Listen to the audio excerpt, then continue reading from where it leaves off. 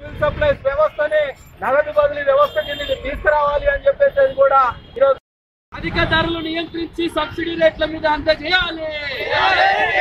ప్రజా పంపిణీ వ్యవస్థను పటిష్టం చేయాలి. ప్రజా పంపిణీ వ్యవస్థను రేషన్ కార్డు వ్యవస్థను పటిష్టం చేయాలి.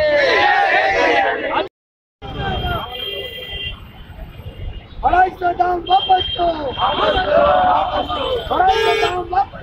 వాపస్ वापस दो बढ़ाई का दाम वापस दो दाम बढ़ाने वाला सरकार मुर्दाबाद दाम बढ़ाने वाला सरकार मुर्दाबाद एजेंट कैंसिल करने वाला सरकार मुर्दाबाद एजेंट कैंसिल करने హైదరాబాద్ సెంట్రల్ సిటీ కమిటీ పరి- ఆధ్వర్యంలో ఈరోజు ఆర్టీసీ క్రాఫ్ట్ లో కేంద్ర ప్రభుత్వం యొక్క దిష్బొమ్మను దగ్ధం చేయడం అనేది జరుగుతూ ఉంది మోడీ గారు అధికారంలోకి వచ్చే ముందు ప్రధానంగా ఆయన చెప్పి ఇస్తున్నారు నగదు బదిలీ స్కీమ్ ఏదైతే ఉన్నదో రేషన్ షాపుల్లో ప్రవేశపెట్టడం కోసానికి మీరు ప్రయత్నం చేస్తున్నారు.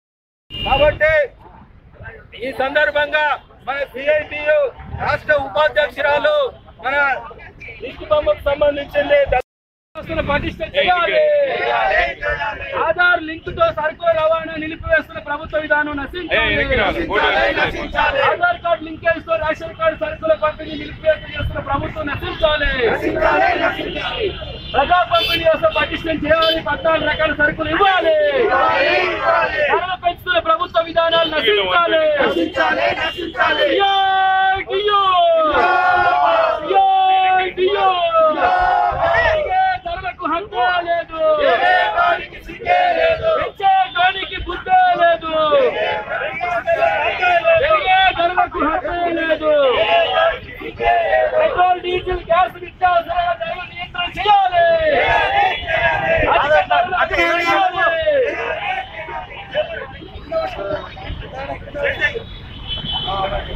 ప్రజా పంపిణీ వ్యవస్థను రేషన్ కార్డు ఇవ్వాలి ఆధార్ లింక్ పెట్టి రేషన్ సరుకులు ఆకులు మానుకోవాలి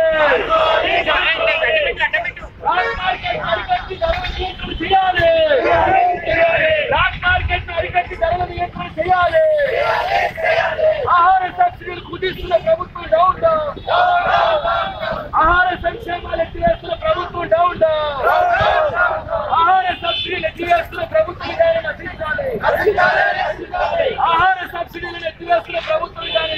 చాలా?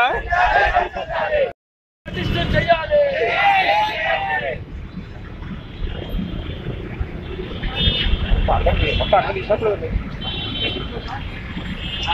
మంట నుంచి వాళ్ళు పెట్టి తీసుకున్నా? నాయనా దేశంలో నిత్యం పెరుగుతున్నటువంటి నిత్యావసర వస్తువుల ధరలు అరికట్టాలని అలాగే బ్లాక్ మార్కెట్ నియంత్రించాలని ఏదైతే పార్లమెంట్లో రెండు వేల పద్నాలుగులో ప్రవేశపెట్టినటువంటి ఫ్యూచర్ ఫార్వర్డ్ ట్రేడింగ్ ఏదైతే ఉన్నదో దాన్ని వాపస్ తీసుకోవాలని చెప్పి కోరుతూ ఈరోజు దేశవ్యాప్తంగా ఇరవై తొమ్మిది రాష్ట్రాల్లో పెద్ద ఎత్తున అధిక ధరలకు నిరసనగా ఉద్యమాలు నిరసనలు జరుగుతూ ఉన్నాయి. అందులో భాగంగా మన తెలంగాణ రాష్ట్రంలో రాష్ట్ర రాజధాని హైదరాబాద్ నగరంలో ఈరోజు ఈ నిరసన కార్యక్రమం కేంద్ర ప్రభుత్వ దిష్టిబొమ్మ దగ్గర కార్యక్రమం తలపెట్టాము. మోడీ గారు అరవై నెలలు అవకాశం ఇస్తే అద్భుతాలు సృష్టిస్తానని చెప్పి ఈ రోజు పెరుగుతున్నటువంటి ధరల్ని అదుపు చేయలేనటువంటి చేతకాని స్థితిలో వారు ఉన్నారు. అంతేకాదు కూరగాయల ధరలు ఏ రోజు ఎంత పెరుగుతున్నాయో కూడా తెలవనటువంటి పరిస్థితి. మొన్నటి వరకు టమాటాలు అరవై నుంచి ఎనభై రూపాయలు అమ్మింది. ఉల్లిగడ్డలు ఇరవై ఐదు రూపాయలు అరవై రూపాయలకి వచ్చింది. అలాగే పప్పులు నూనె అన్ని రకాల ధరలు పెరిగినాయి.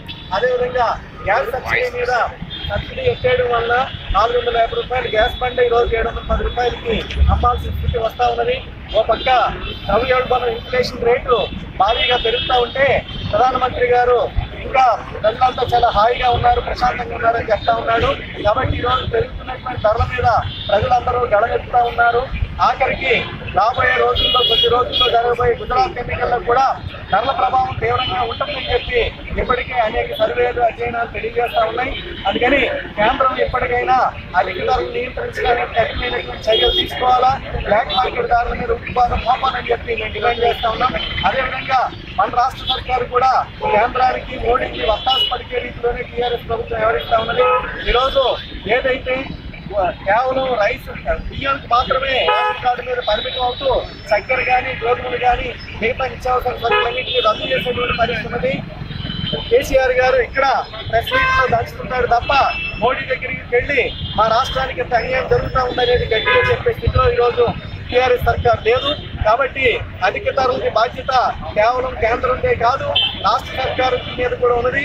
అందుకని వచ్చే అసెంబ్లీ సమావేశాల నాటికి లేదా పార్లమెంట్ సమావేశాల నాటికి టీఆర్ఎస్ పార్లమెంట్ సభ్యులందరూ కేంద్రం మీద వర్క్ తెస్తారా లేదా అని చెప్పి centre of Indian trade union Telangana రాష్ట్ర కమిటీ సిఐటి సివిల్ సప్లైస్ వ్యవస్థని నగదు బదిలీ వ్యవస్థ కిందకి తీసుకురావాలి అని చెప్పేసి కూడా ఈరోజు